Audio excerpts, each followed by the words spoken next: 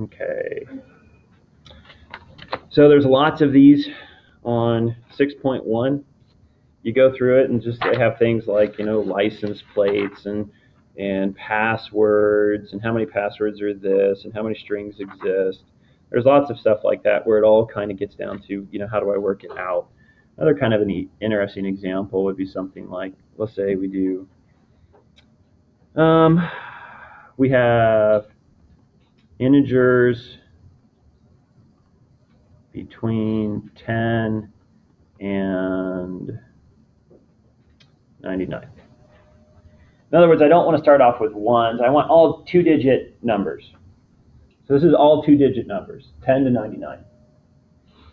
So I'm just dealing with two-digit numbers, and I'm going to have the following question. Uh,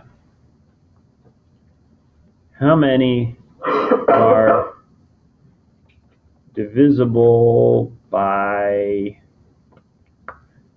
3?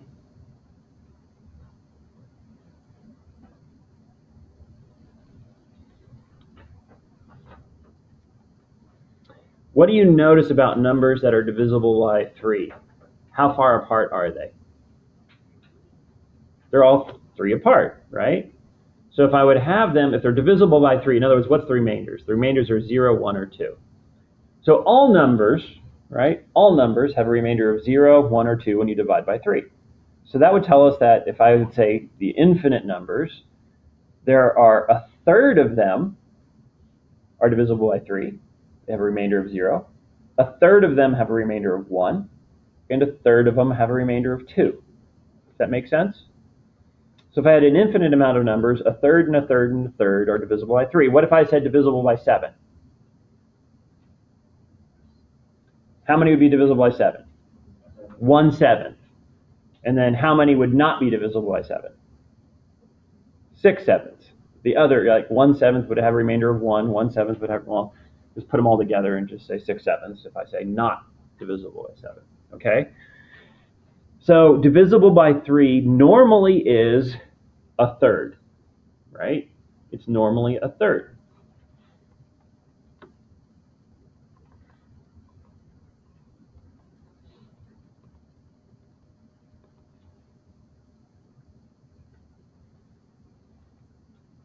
All right, how many integers are there between 99 and 10? That's equal to how many ints?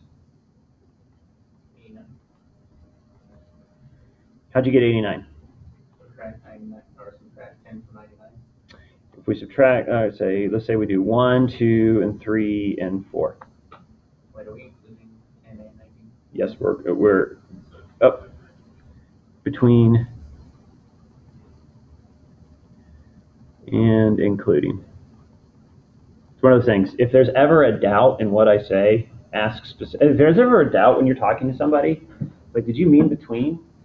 Because between would actually be what? Not 89, but 88, right?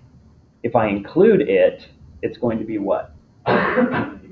There's 90 of them, right? 89 plus 1, because the first is your zeroth, right? Like, for example, here, from 1 to 4. If I take 4 minus 1, I get what? 3. But that means there's actually 3. That 3, what did you really count? 4 minus 1 counts the what? the gaps. When you subtract the ends, you get the gaps. So how many norm how many numbers are there? Gaps plus one, right, which take you back to four numbers. But if I said strictly between, do I really mean two, which is gaps minus one? And so that's one of the things, like when you said between, did you mean between including the endpoints or not? If you say, if you mean including the endpoints, you're like for one to four is four. If you said not the one, you meant three. If you said gaps, you mean three. If you mean between between and not the endpoints, then you mean two. so for us, I meant including the endpoints. And so we have a total of 90. So if I gave you 90 sequential numbers, how many are divisible by 3? 30.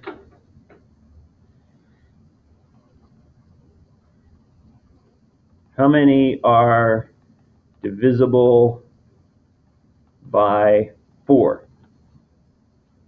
Normally, it would be what? One fourth of total. But what is 90 divided by 4? What's half of 90? What's half of 45? Hmm? Half of 45? 22.5. All right, now we have a problem. In other words, this wasn't an exact multiple of 4. So what this is going to, is 22.5 tells us what? There are either going to be 22 or there are going to be 23.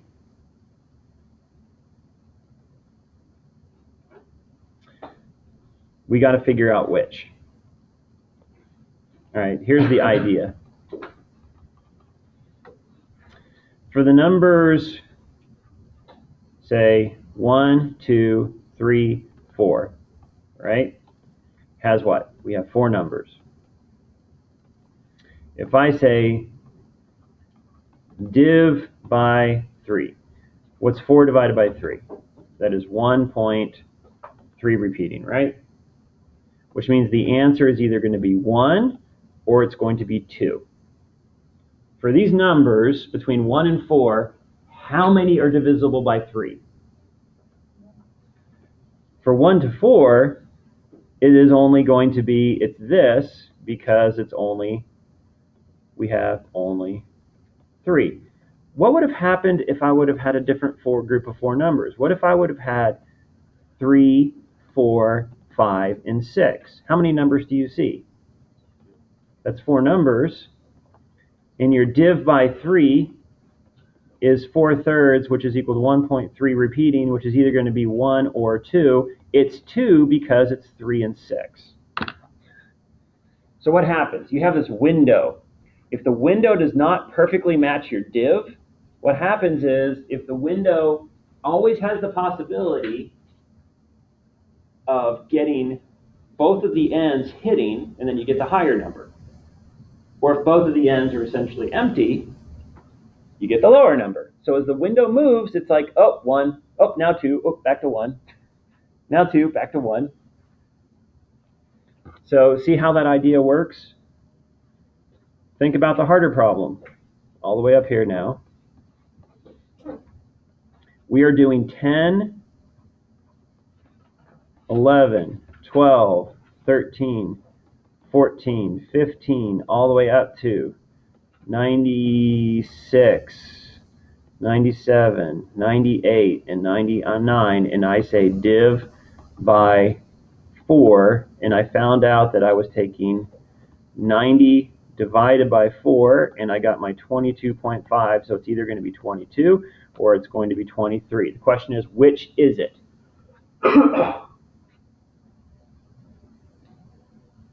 Where's my first div by 4? 12. That's my first div by 4. Where's my last div by 4? How'd you know? because because 100 is like that's a very easy one. So 100 we knew was divisible by 4, so 4 in front of it. 1, 2, that would be a remainder 3, remainder 2, remainder 1, so it's 96. So from 12 to 96, how many are there?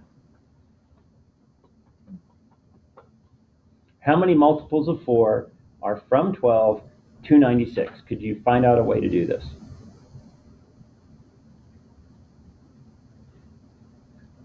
Besides counting, could you think of a way of doing this?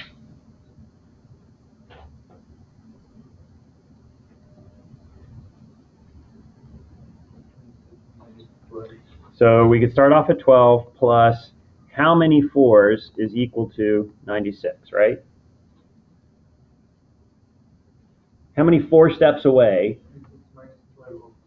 So that's n times 4. What's 96 minus 12? And what's 84 divided by 4? What? Which? What number? 21. So my first number is 12. One step away is 16. Two steps away is 20. 21 steps away is 96. So 96 is 21 steps away. So how many total numbers do we have? 22. So we have 21 steps away. That means that 22 is the answer. What if I found 96 would have rather been 22 steps away? What would have been your answer? It would have been 23. Is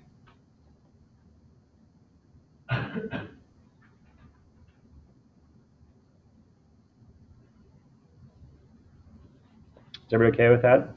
How we got to the 22? Here comes a fun one. How many are divisible by 2? Setting up a little bit of a problem. How many total number were there? If it's divisible by 2, it'd be about what? So to be half. So what's 90 divided by 2? So there's 45 that are, that are even. There's 45 evens. How many are divisible by 2 or 3?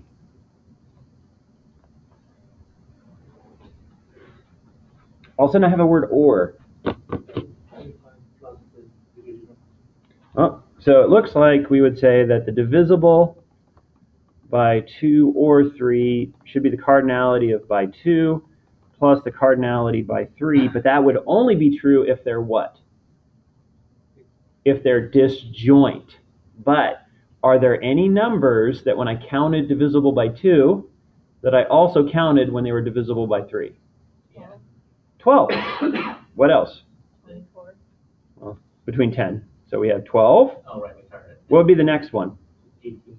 18. How far is 18 from 12? It's 6. In other words, what do we have to do? What's the intersection? And 3, which is really by what? To be divisible by 2 and divisible by 3 means you have to be divisible by 6. so the only way I can do this problem is I need to know by 6. So what is the by 6? That's equal to 90 over 6, which is? What's 90 over 2?